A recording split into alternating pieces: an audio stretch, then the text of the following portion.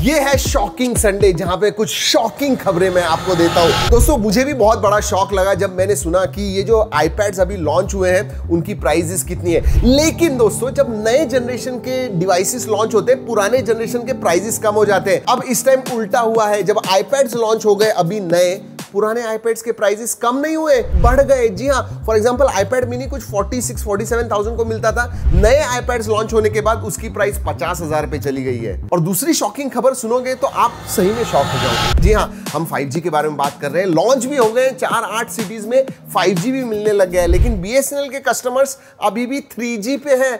अब उन्होंने अनाउंस किया है कि बीएसएनएल 4G लेके आने वाला है जैन 2023 में। एंड 5G अगस्त 2023 में। आप में से कितने लोग बीएसएनएल पे अभी भी हैं? ज़रूर बताइएगा नीचे कमेंट सेक्शन में। सब्सक्राइब करना मत भूलिए। हर संडे आपको ऐसी शॉकिंग खबरें लाते हैं।